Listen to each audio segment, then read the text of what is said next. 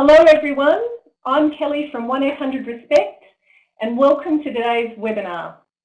Before we start, I would like to pay our respects and acknowledge the traditional custodians of the land on which this meeting takes place and also pay respect to elders both past and present. Today's topic is forced marriage, understanding context and connecting to services. Frontline workers are often best placed to recognise indicators, identify vulnerable people and link them to appropriate support services. We're pleased to welcome our presenter for today, Jennifer Burn. Jennifer is Director, Anti-Slavery Australia and Associate Professor, UTS Faculty of Law. Anti-Slavery Anti-Slavery Australia is the only university-based law and research centre in Australia dedicated to advancing the rights of people who have experienced human trafficking and extreme forms of exploitation by providing access to legal advice and representation for trafficked and enslaved people in Australia. The law practice currently assists, over 70 clients with a wide range of legal issues, including representation for those in or facing forced marriage, migration matters, or housing and other issues. Jennifer Burn is a member of the National Roundtable on Human Trafficking and Slavery, a frequent media com commentator, and a practicing lawyer and migration agent. Please note this webinar is live and interactive. You're encouraged to participate by posing questions to Jennifer, which can be typed into the chat box, which is located at the bottom left-hand side of your screen.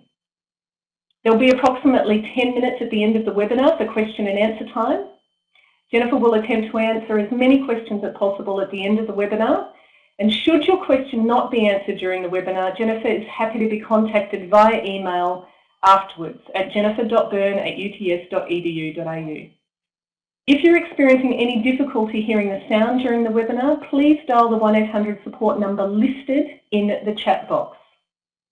I'm now very pleased to pass over to Jennifer to begin today's webinar. Thank you, Kelly. It's uh, terrific to be here with you all uh, to discuss this important and emerging issue of forced marriage in Australia. And we're going to go straight to the slides. Thank you. I'd like to begin by firstly speaking a bit about the work of Anti-Slavery Australia and explain why an organisation like us is involved in this space. One of the first things to note is that best practice responses to forced marriage are still developing and there are a number of key organisations involved in developing these responses. And we'd like to involve as many organisations as possible in this discussion. I'd like to um, begin um, by remembering to um, change the slide. Sorry. To, to speak about um, the context of forced marriage in Australia, to speak about forced marriage law, the criminalisation of forced marriage as an offence, and to talk about some of the indicators of forced marriage and the effect of forced marriage on survivors. Our task, I think, is to uh, develop uh, best practice responses to forced marriage, and this is part of an emerging discussion.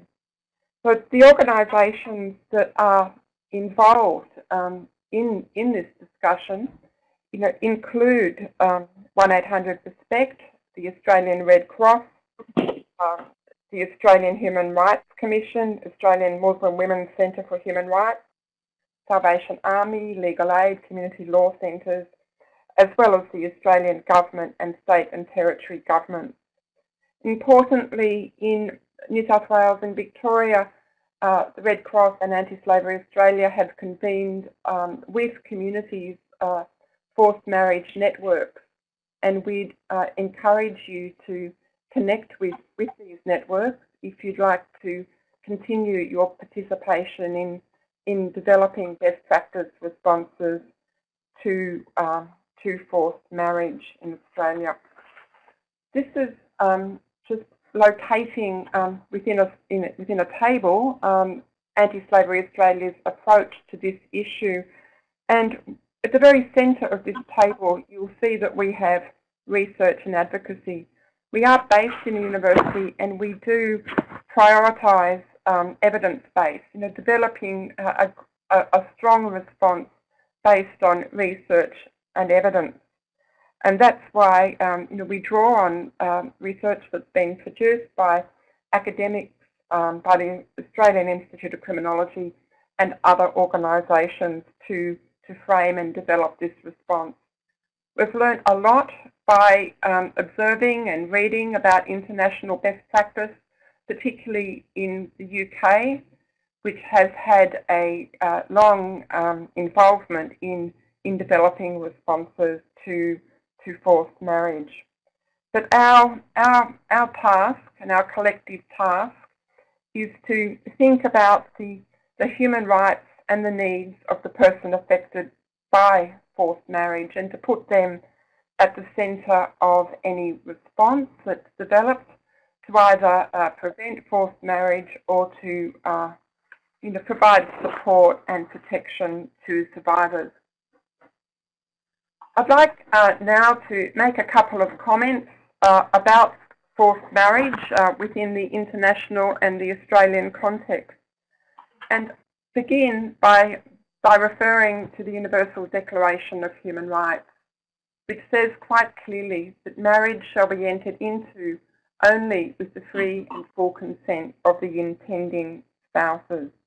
And this is an absolutely critical and fundamental human right and a right that's echoed in multiple international conventions and treaties and which has been adopted completely uh, into Australian law. Many of us, uh, such as Anti-Slavery Australia, have an involvement with the Australian Government National Roundtable on Human Trafficking and Slavery. And through that body, um, there is a um, collaborative effort to address slavery and slavery-like practices. And that's why an organisation like Anti-Slavery Australia is involved in this area because international law, forced marriage, is considered to be such a serious violation of human rights and a crime against the person that it is a slavery-like practice. So forced marriage is a crime in Australia. It is considered to be an abuse a form of exploitation that is so severe that it is a slavery-like practice. Um, this principle of human rights and, and respect for um, those in or at risk of forced marriage um, is absolutely critical and um, has been central in the development of the Australian Government National Action Plan to respond to um, slavery, slavery-like practices including uh, forced marriage. Let's just look at um, the scope of forced marriage in the international context. And internationally and in Australia, it can be difficult to estimate the numbers of um, people who are affected by the factors of forced marriage. But in um, a major report produced by Plan International uh, that organisation estimated that 14 million girls under the age of 18 are married each year around the world. You know, observing that statistic and also reflecting on the academic literature and anecdotal experience, it is clear um, that while most reported victims are young women and or women and, and girls, also boys and men, and that's certainly been the case in Australia too. Forced marriage can be an issue for members of the lesbian gay community and for those members of the, of the Australian community who have a, a disability. So the framing of um, forced marriage in, in the Australian context is that it is a slavery-like practice. It is a severe violation of human rights, of humanity, and most recently, we've seen um, credible reports of forced marriage as a form of violence against women and girls in crisis situations and in civil war. And these are the reports that we're seeing almost daily through, through media. Well, what's happening in Australia. Firstly, um, we don't have um, many statistics about Australian uh, um, about the, the demographic affected in Australia. But um, the AFP have reported um, that forced marriage became a crime, there's been 49 referrals. To the Australian Federal Police for forced marriage offences, and of that 49, um, the AFP are continuing to investigate 41, and the majority in this context are um, children under the age of 18. Um, there are a number of cases in, in the family law jurisdiction that really um, highlight something of um, the pattern of uh, forced marriage in Australia and I'll just refer to some of those cases now. Um, you'll be able to see a slide in front of you and there are case names listed there. I'd like to, note that these case names um, are not real names. Uh, they're just names that have been um, decided by, by the court. But just to mention one or two of these cases to illustrate something about the pattern of forced marriage in Australia. In the first case, um, Essie and Elia. This involved um, a report of um, a young girl of 14 who underwent um, a non-legally sanctioned marriage ceremony. So that is a marriage that took place outside the requirements of the Marriage Act of Australia. Um, she was, um, she explained, pushed to get married and really um, deceived about what marriage meant. Um, but disturbingly, um, at this time, uh, she did tell a teacher at her school that there was a marriage um, pending and there wasn't a, a, response from the school. But I should make it clear information about this case really from the light and that school teacher would have received that information about eight years ago the response now from the school and from the school community, I believe, would be different. Disturbingly, uh, after the marriage, um, education, but she told the court husband stopped her from going to school. He burned her homework and forced her to uh, leave school. If you don't drop out, I'll move you so far away that you won't ever see people case of human services and Vilkana also involved a 14-year-old girl um, who was anticipating going overseas to marry her 17-year-old fiance. I should make it clear that in all these cases on the screen that you can see, um, those affected are Australian citizens. So in this case of human services in Vilkana, she was a 14-year-old girl. She stopped going to school in this case, school teachers referred uh, her matter to Victorian Child Protection Services who investigated and there was an application to the court and the court um, said that she as a child um, would not understand the significance of marriage and the court issued an injunction to prevent her from going overseas. Uh, in the case of Kreet and Sampir, this involved a marriage that did take place in an overseas country and in that case the court decided to uh, void the marriage or in other words cancel or to annul the marriage because um, the woman in this case um, did not form a full and free consent because the will to consent to the marriage had been overborne through the effects of coercion. The case of Nagri and Chappell in, involves the case of a man um, who was also subject to uh, a forced marriage in Australia. In this case, the coercion uh, that was exerted upon him that took away his free will was coercion involving um, financial pressure and financial stress. And in that case, you know, the, the court also agreed that he had been, in effect, subject subject to forced marriage. But these cases took place before forced marriage became a criminal offence in Australia, but they do highlight something about um, the pattern of forced marriage in Australia. I'd like to say quite clearly that um, reports of forced marriage are, are, absolutely not limited to any particular group, any particular ethnic, religious or cultural group. Our reports have been um, elucidated from many different communities and that's the experience um, in the uh, UK as well. Um, it's also important to say that the, the best framing, we think, in responding to forced marriage um, is to recognise that it is most often a form of violence against women and girls. It is a form of gender-based violence that takes place um, often uh, within within families. So in very many ways, um, best practice responses in this area is really uh, in line with best practice responses uh, to uh, family violence and um, family violence within within families and, and against um, girls and women. But in looking at the responses, um, it's really important that we do think about the evidence and make any comment based on what is known. Um, there can be some misunderstandings about forced marriage in the broader community, and there are certainly misunderstandings in the media.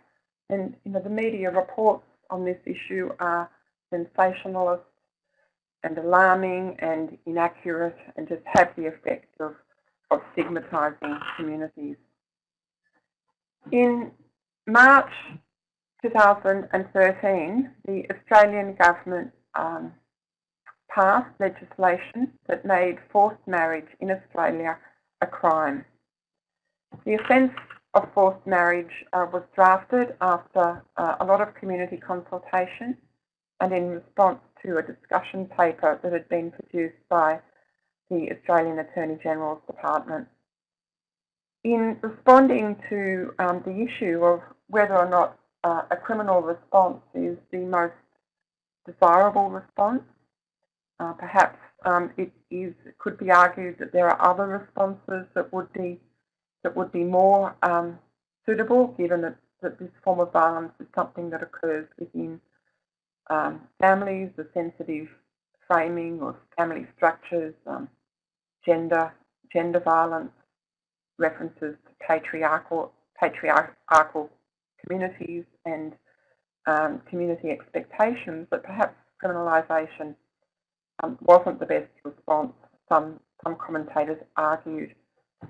Um, Anti-Slavery Australia uh, supported the introduction of an offence, um, but in, in consort and in collaboration with communities so that the criminalisation would be one part of an offensive of an effective response that would also include you know meaningful consultation with communities, um, respect for initiatives that, are, that develop out of communities um, to ensure that uh, the human rights of people in or facing forced marriage are fully respected.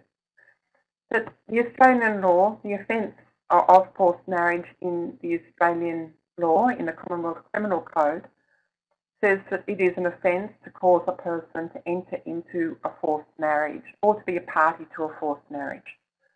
And a party to a forced marriage means agreeing to marry somebody that you know or suspect is a victim of forced marriage, unless you are also the victim yourself. There are very serious offences, uh, penalties associated with forced marriage, and you can see that um, there is four years or seven years imprisonment, which is part of the, the current law, uh, if an offence is proved in a, in a criminal court. And sometimes those offences and the penalties uh, can be greater if the, the victim of the forced marriage is a child. There is a proposal um, to expand the definition of forced marriage to make it clear that um, there will be a criminal offence of forced marriage if a person under the age of 16 marries um, without the opportunity to um, address the presumption that they haven't consented. I'll just say that in another way. Um, the, the proposal to, to amend the law is that it's assumed that um, children under the age of 16 cannot consent to the marriage, um, but they can present evidence to the court that shows that they did have the capacity to fully and freely consent. So this is what's called a rebuttable presumption. And there's also a proposal before the uh, Australian Parliament to increase the offences of forced marriage to seven years and nine years for the aggravated offence. So the aggravated offence is the offence that would include um, forced marriage of a child, for example.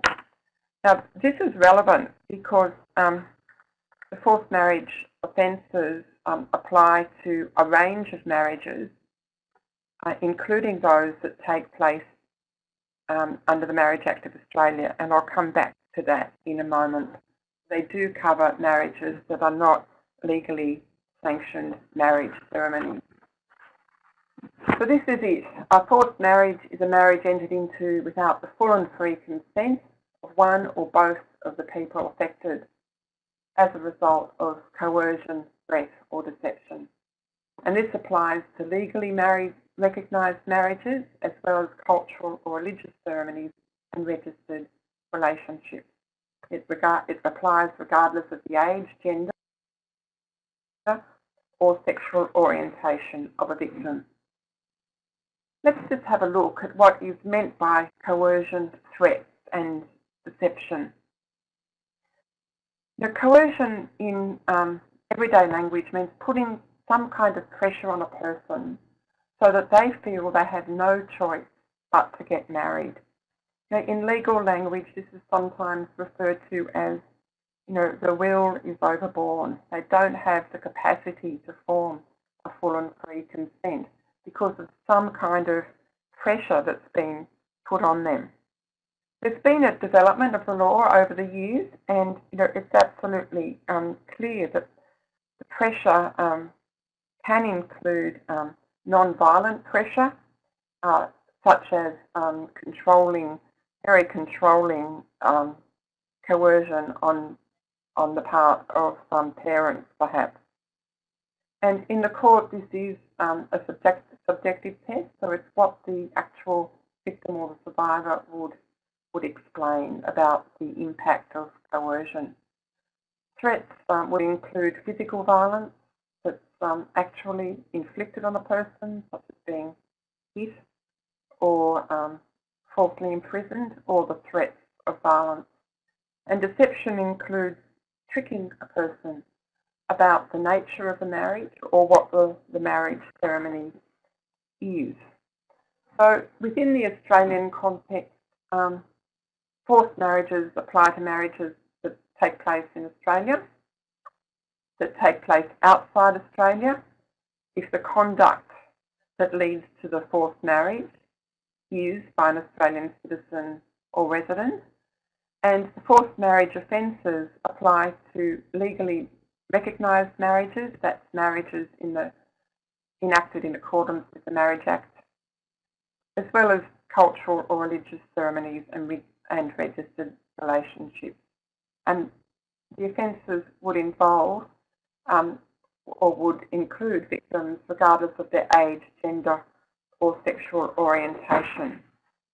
Now, it's important to always distinguish between uh, arranged marriages and sham marriages. Arranged marriages are completely legal in the Australian context.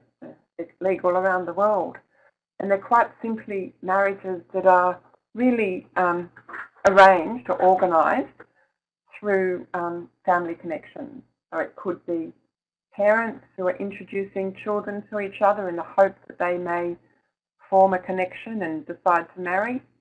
It could be friends introducing couples to each other because they think they might like each other and might eventually marry.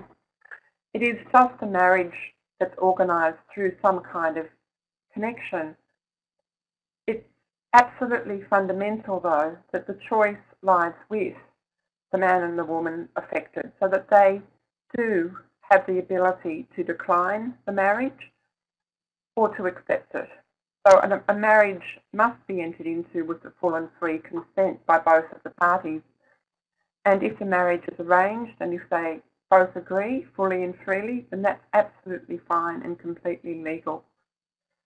Sometimes um, marriages are sham marriages, and these are not usually considered um, forced marriages, but they are where there is some kind of fake claim that a marriage is genuine for a benefit and often um, for uh, migration benefits, in which case one party um, says, I'm going to pay you, X amount of money to marry me, pretend we're in a genuine relationship, you'll get the money and I'll get the visa. That's a sham marriage. It's a fraudulent claim of a genuine relationship for a benefit. Um, sometimes um, there might be uh, an interconnection between a forced marriage and a sham marriage, and this could take place um, where a marriage has been organised by traffickers, where there is uh, an intention to exploit one of the parties. And there's been um, some research by the Australian Institute of Criminology that, that says that this could be uh, an issue in some cases involving partner migration. And one of the cases um, that went to court in Australia that did involve slavery offences did have an element of a sham marriage uh, as, as, as one of the aspects of that marriage. It's also important to um, distinguish between um, forced marriage, arranged marriage, sham marriage and servile marriage. And it's just a terminology issue, but servile marriage has a very particular and very limited meaning. And it really just refers to um, cases that would fall within a, a 1956 slavery convention where a woman is treated as a piece of property, where she doesn't have the um, right to refuse a marriage or where she's been inherited by somebody or, or given to somebody. This is a very limited um, form of marriage, although it could take place in Australia. Um, sometimes we use the phrase servile marriage to refer more generally to situations where um, people in Australia are exploited in a labour context.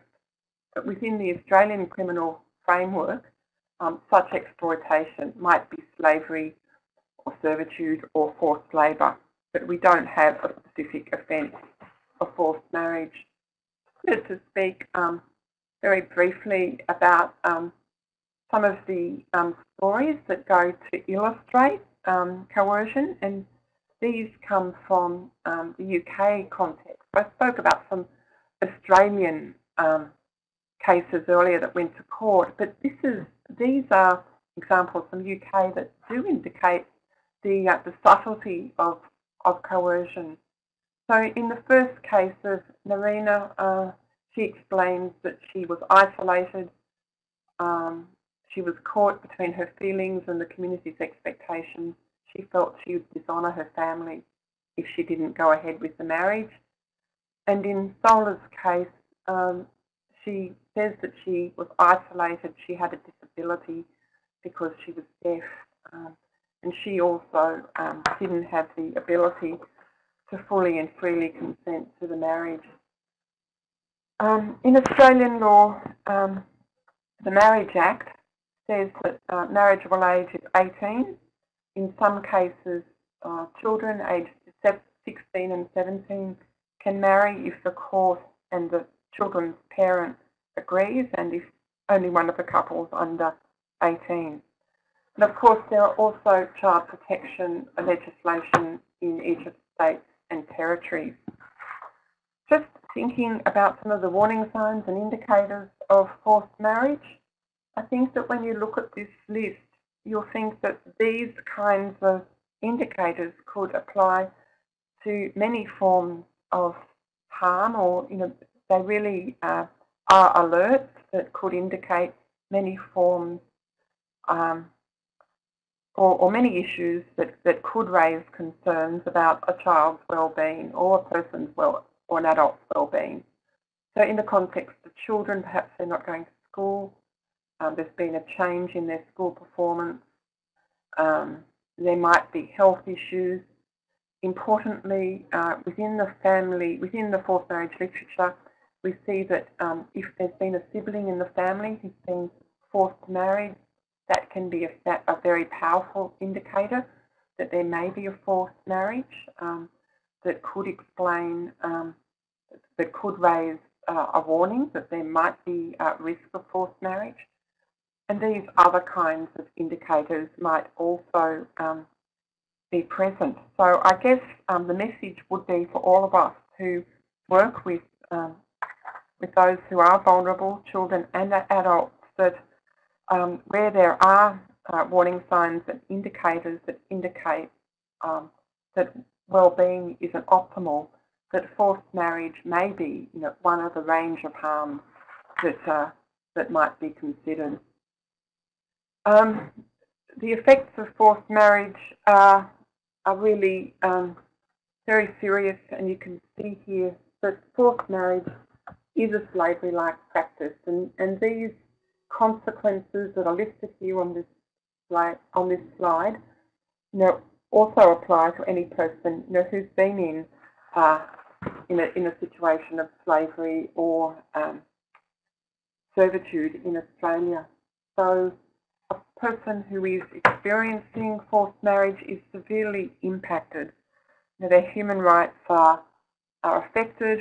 Um, they really um, do have uh, a need for um, for support and and for for for um, for a lot of support so that they can um, respond themselves within a within a good human rights framework.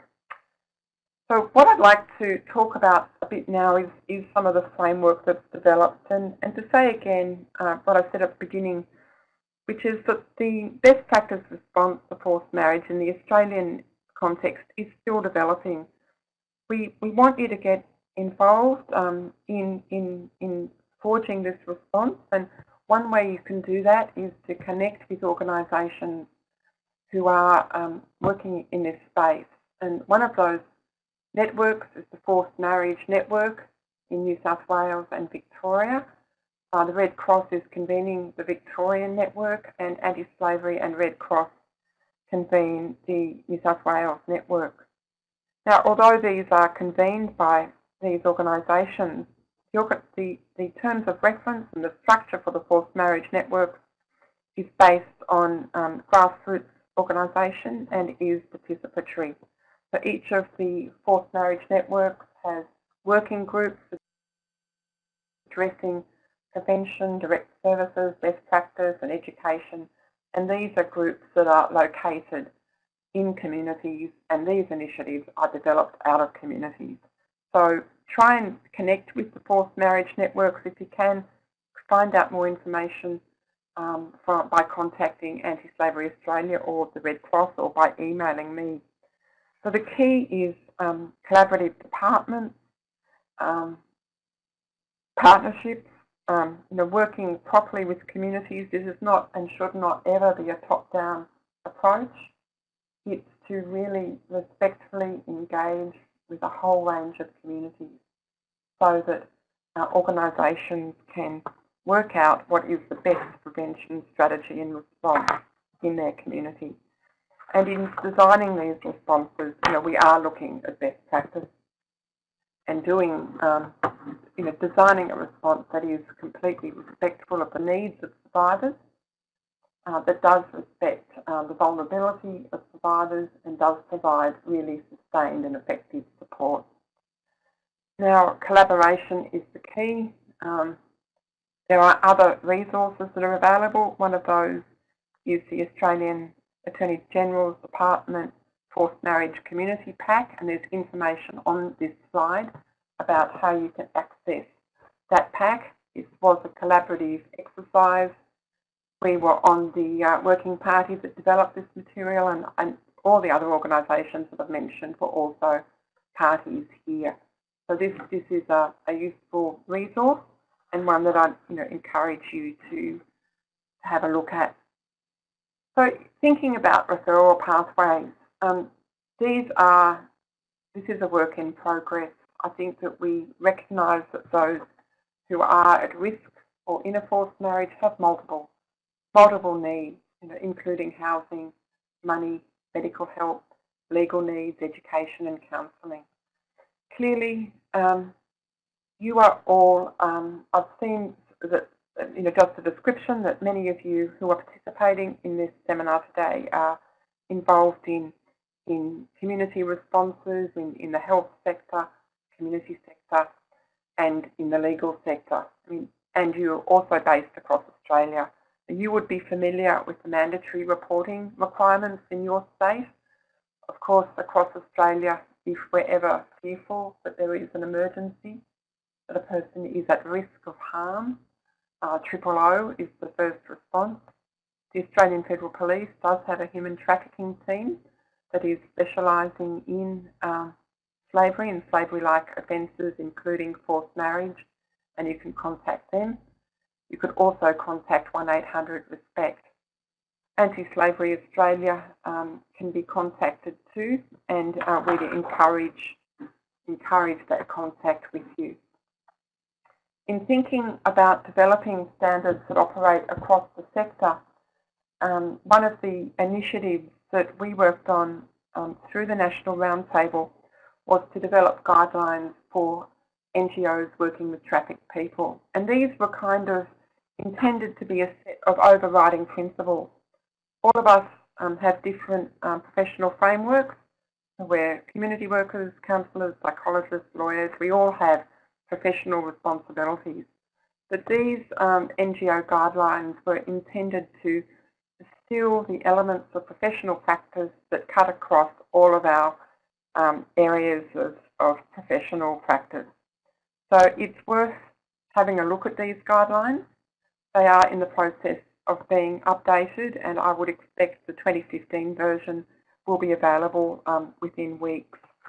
But um, do have a look at these and the 2015 version will have some material on uh, forced marriage included. Now, we have also got material of Anti-Slavery Australia and you can contact us if you would like uh, multilingual material. And I've listed the uh, languages that this material is available in on, on this slide. Um, we also have a little um, fold-out leaflets that are great for school-age um, people, flyers and reception posters. And this is all multilingual. If you'd like to have any of this, um, please please contact us. And we've only had the um, printed versions for the last few weeks, but we've sent out thousands of them already as a result of um, requests. We've got um, a very exciting initiative, which is the uh, a dedicated website um, on forced marriage that we will be launching on the 25th of November this year. Um, this will be launched on the day, or the International Day of the Elimination of Violence Against Women.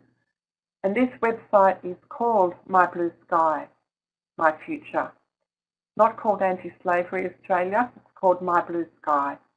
And this is a website that will be a national portal for information and help across Australia. Uh, it will include referral information, there will be multilingual material there, but importantly, it will be um, an entry point for legal advice and representation. Uh, there will be uh, an exit button that's available on the screen that will um, um, allow a person to quickly leave the site and you know, destroy any evidence that that site has been accessed. We are expanding this um, service directory now. If you'd like to be included, please let us know. Now, down, just have a look at the um, little image at the bottom of the slide. See the see the My Blue Sky image? That's the aesthetic that we've been uh, working on with the designers. So, you know, it's meant to be um, an optimistic, engaging site. We haven't included bars, we haven't included oppressive images. It's meant to be positive and it will include um, material, um, you know, that is written in, in a way um, that will, you know, engage and inspire rather than terrify. Uh, we are um, in the final weeks, as you can tell, of um, settling this. So, you know, if you'd like to know more about this now, please um, contact us. We've also got at Anti-Slavery Australia an e-learning platform. You can access this through our website, antislavery.org.au, and there is a specific module on that website that deals with forced marriage. You might be interested to have a look at that too. Now, um, there is an upcoming event um, that you might be interested in if you're in Adelaide, Melbourne or Sydney, and I've included details about that event here. Jasvinder Sanghera is a UK survivor of forced marriage and she will be speaking particularly about honour violence within the context of forced marriage. So you might like to register for those events. Um, finally, um, I think that, you know, we, what we're trying to do is to um, respond to forced marriage with a range of uh, community partners and taking into account um, the needs and the opinions of survivors. This is a step-by-step -step process. You know, there is not a template that is top-down. It's a process that's, um, you know, honestly engaging um, with with communities and, and with vulnerable people. And this is something that's developing. So if you'd like to contact us, again, we'd um, really love to engage with you. What I would like to do um, in closing is just um, show you uh, a short film animation that was developed in the UK. Um, I know that 1800 Respect is developing um, a poster that will be available in the Australian context and I'm sure that there'll be more about that later either today or through the 1-800 communication pathways. But I'd like you to, to have a look at this short animation and um, and it has been you know, helpful for us you know, as we've been um, framing uh, our approach to, to developing uh, information for, for community workers and for others affected. So if you'd like more information about what we do, about the legal response, uh, or anything at all you know, in this area, please contact us. This has obviously been um, a very short overview, and I've really um, taken up a lot of time, um, and I'd love to talk more. So please, please do um, keep in touch, and I look forward to answering any questions that I can answer after you've seen this video. And thank you so much for the, for the opportunity. Here we go.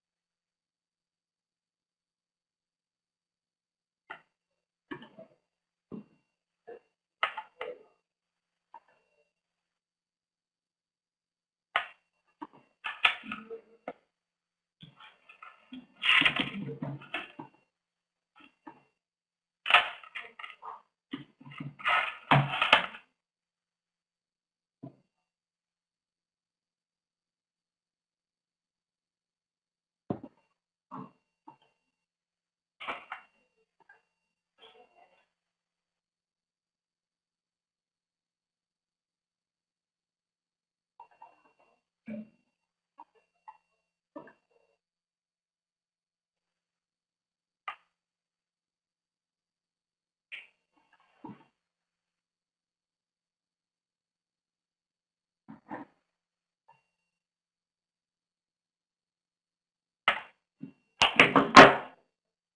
hello. I'm not sure. Can you still hear me? I can't. I, I can't see the video playing. So should we go to questions now? Yep, that'll be good.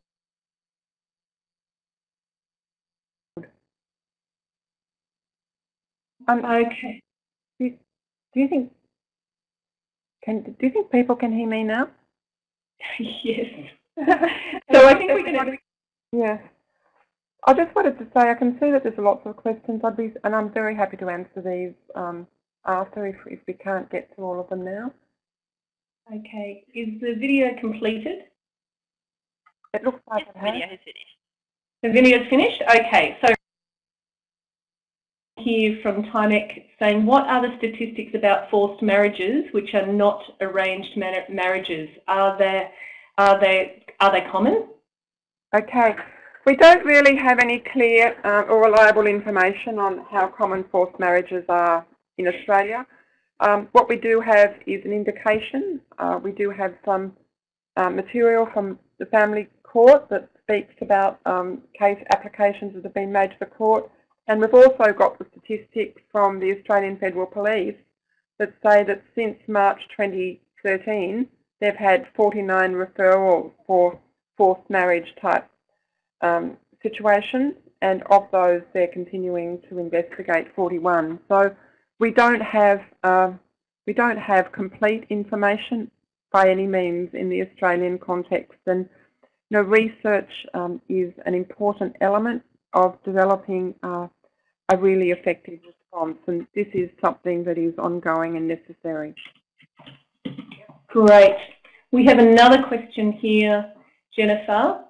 Um, asking uh, what are the attitudes and responses effects on the forcing side, spouses and families?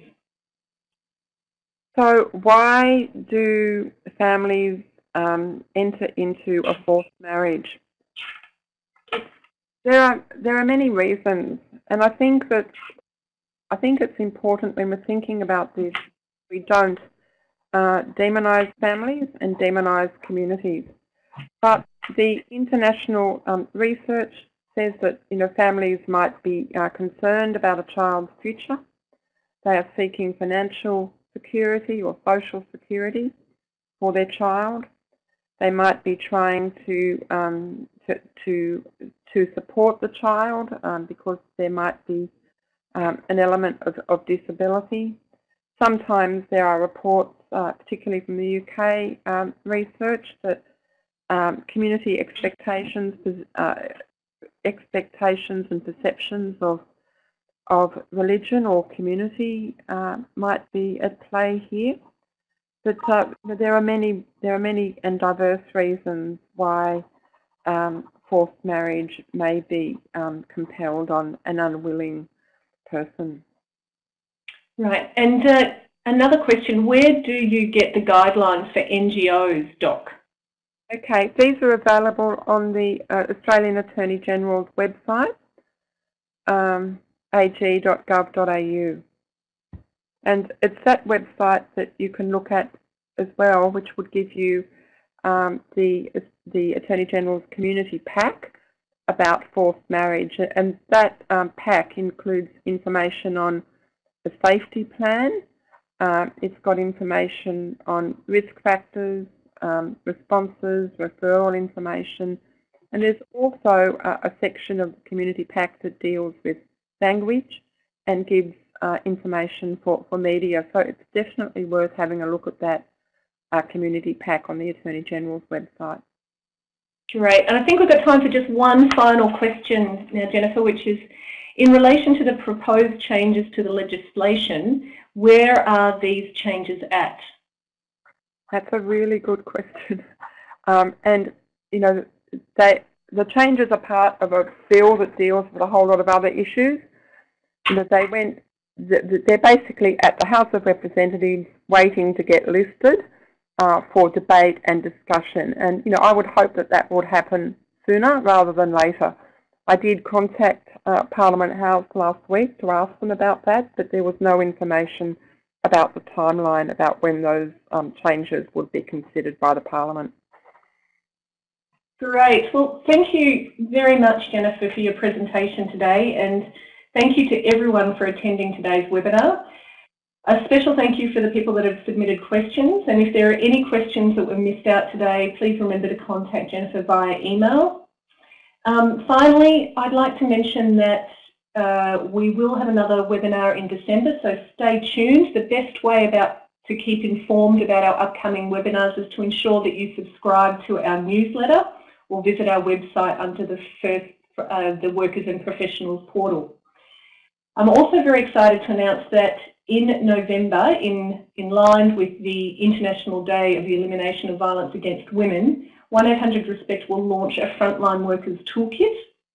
And to access or to get any more information about accessing this toolkit, uh, please, please ensure also that you subscribe to our newsletter or you can go to 1800respect.org.au forward slash toolkit.